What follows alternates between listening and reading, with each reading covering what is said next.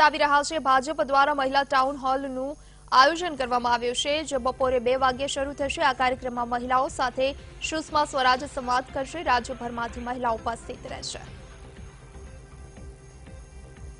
વિદેશ મંત્રી સુષ્મા સ્વરાજ અમદાવાદ આવી રહ્યા છે. અમદાવાદ ખાતે ટાઉન હોલ કાર્યક્રમનું આયોજન કરવામાં આવ્યું છે. આ ટાઉન હોલ કાર્યક્રમમાં સુષ્મા સ્વરાજ મહિલાઓને સંબોધન કરશે. રાજ્યભરમાંથી મહિલાઓ આ કાર્યક્રમમાં ઉપસ્થિત રહેશે. અમદાવાદ ખાતે આયોજિત કાર્યક્રમમાં સુષ્મા સ્વરાજ ભાગ લેવાના છે. આજે વિદેશ મંત્રી સુષ્મા સ્વરાજ અમદાવાદ આવશે. અમદાવાદમાં ટાઉન હોલ કાર્યક્રમમાં સુષ્મા સ્વરાજ ઉપસ્થિત રહેશે અને મહિલાઓ સાથે સંવાદ કરશે.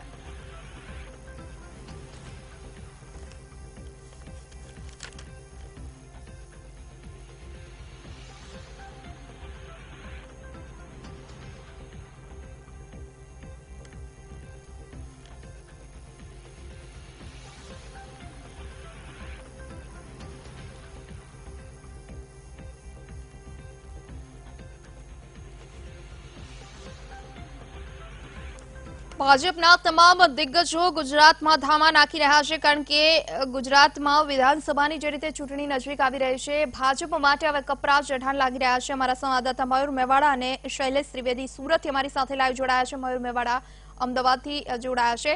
મયુર, સૌથી પહેલા આપણે પૂછવા માંગીશ, વેંકૈયા નાયડુ અને સુષ્મા સ્વરાજ વિદેશ મંત્રી. બંને ગુજરાતની મુલાકાતે આવી રહ્યા છે. ખાસ કરી સુષ્મા સ્વરાજ અને વેંકૈયા નાયડુનો ગુજરાત પ્રવાસ દરમિયાન કયા કાર્યક્રમો રહેશે?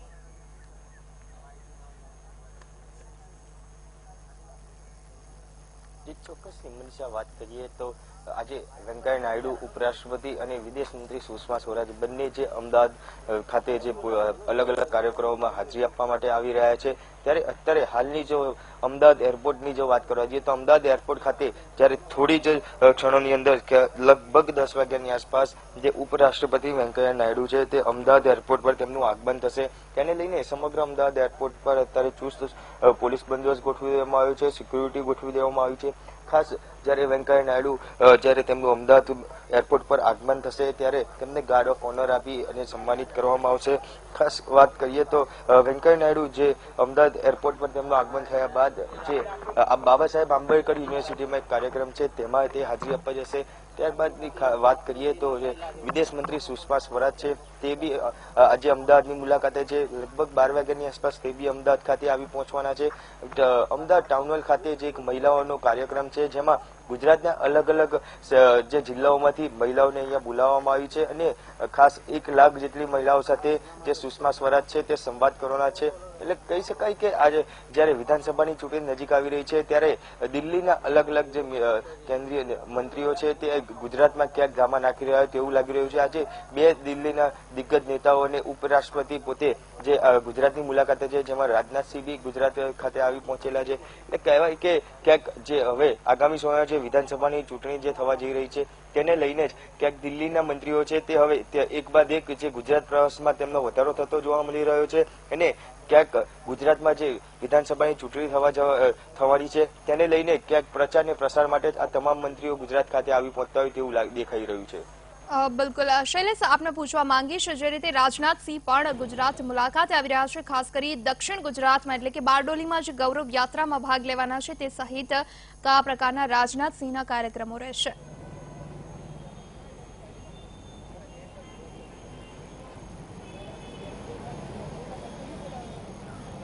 જી જો કેન્દ્રીય ગૃહમંત્રી રાજનાથસિંહના કાર્યક્રમની વાત કરીએ તો તેઓ અગિયાર વાગે સુરત એરપોર્ટ પર આવી પહોંચવાના છે અને સાડા અગિયાર વાગે તેઓ બારડોલી ખાતે એક જાહેર સભાને સંબોધન કરવાના છે અને ત્યારબાદ બપોરે બે વાગે દિલ્હી પરત ફરશે. પરંતુ આજે ગૌરવ યાત્રા સુરત જિલ્લામાં ફરવાની છે અને રાજ્યના મુખ્યમંત્રી વિજયભાઈ રૂપાણી આ સમગ્ર યાત્રાની આગા- આગેવાની લેવાના છે. સવારે દસ વાગે સુરત જિલ્લાના પલસાણા તાલુકાના પુણી ગામથી સુરત જિલ્લાની ગૌરવ યાત્રા શરૂ થશે. ત્યારબાદ મહુવા, ખરવાસા, બારડોલી વગેરે વિસ્તારમાં ફરશે.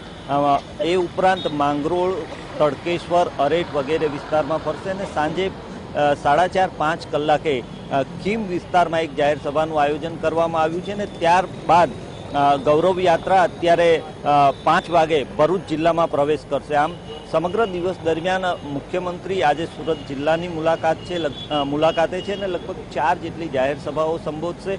અનેક સ્થળોએ તેમનું સ્વાગત કરવામાં આવશે અને સ્વાગત સભાઓને પણ તેઓ સંબોધવાના છે.